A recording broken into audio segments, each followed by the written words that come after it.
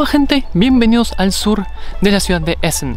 Me encuentro a orillas del Val de Neisse porque estamos buscando las ruinas de un castillo construido en 1240 y destruido en 1288.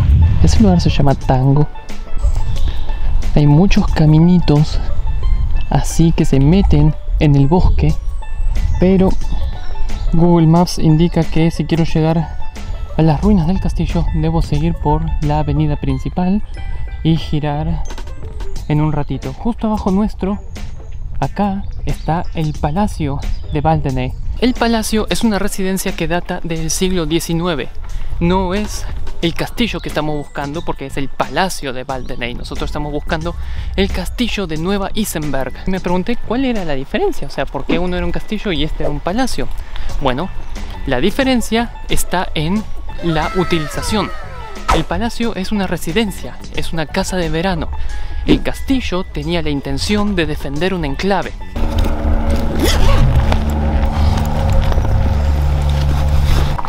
Ahora sí, abandonamos la ruta principal para meternos en este camino de sombras. Guiándonos por Google Maps. Es medio laberinto, pero se llega eventualmente hasta las ruinas de Nueva Isenburg. Así que continuamos por acá. Halo. Aprovechemos la caminata para hablar de la historia de este lugar. Para entender la corta existencia de Nueva Isenburg, tenemos que hablar sobre la vieja Isenburg y este señor, San Engelbert II, arzobispo de Colonia, conde de Berg. Sí, ese era su nombre completo. Como arzobispo llevó al emperador Federico II del Sacro Imperio Romano Germánico a firmar un tratado en el cual, a cambio de que los arzobispos reconocieran a su hijo Henry como futuro rey, él les concedía poderes extraordinarios. San Engelbert condujo una serie de campañas para reconstruir los territorios de Colonia y ello lo llevó a una disputa con su primo Frederick, conde de Isenberg. El conde había estado abusando de su poder para quitarle fondos a la abadía de Essen, y el arzobispo, que ya había adquirido mucha popularidad y resuelto conflictos a su favor, decidió convocarlo. En 1225 se reúnen en Soest para un juicio, pero el 7 de noviembre, mientras ambos regresaban a Colonia, son emboscados por una alianza de nobles que habían sido perjudicados por el Tratado Imperial. San Engelbert es asesinado en la pelea. Frederick de Isenberg fue declarado culpable de la emboscada ya que se sabía que era el líder de los nobles opositores. Fue despojado de todos sus títulos, sus castillos fueron destruidos y sus tierras fueron repartidas entre el arzobispado de Colonia y el conde de Mark. Pocos años más tarde, el hijo de Frederick, Dietrich I de Isenberg, dispuesto a recuperar las tierras de su padre, declara la guerra al conde Alfred I de Mark. En 1240 construye dos castillos en las tierras reclamadas, Hohenbock y Nueva Isenburg.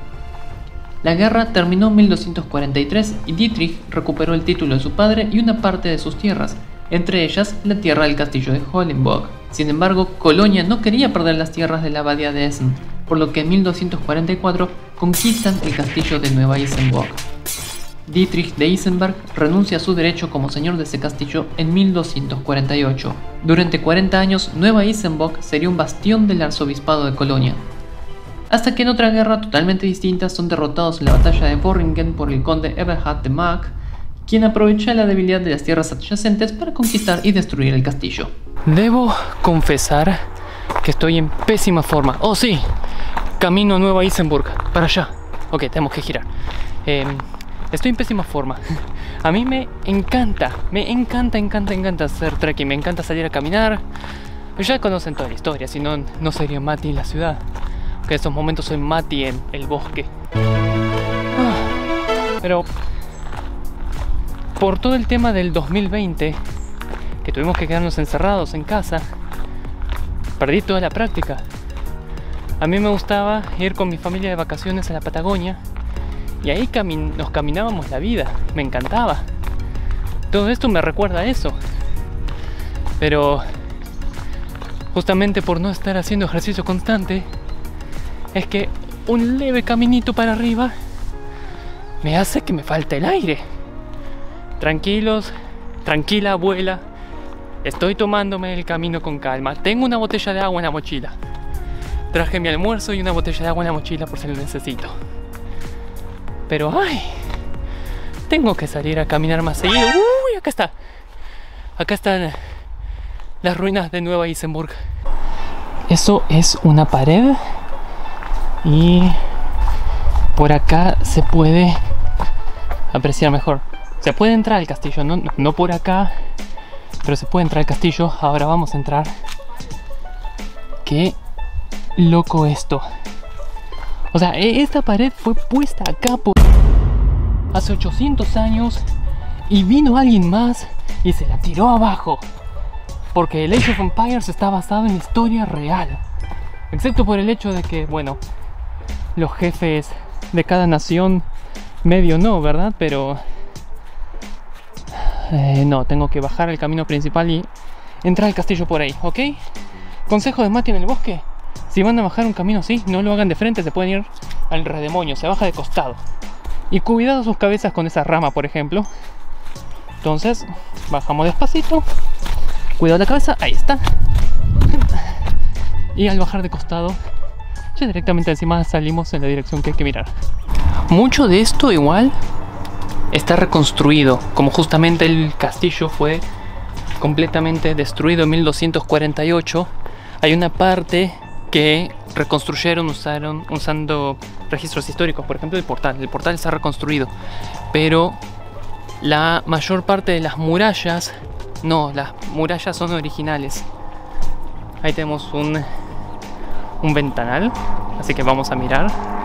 Claro, acá estamos entrando en lo que solían ser las torres del castillo. La verdad que en nuestro mundo moderno cuesta plantearse esto. O sea, alguien tenía el suficiente poder como para decir, este cacho de tierra de acá es mío y lo voy a defender. Así que vos, vos y vos van a traer miles de piedras y van a armar una estructura para alojar un ejército.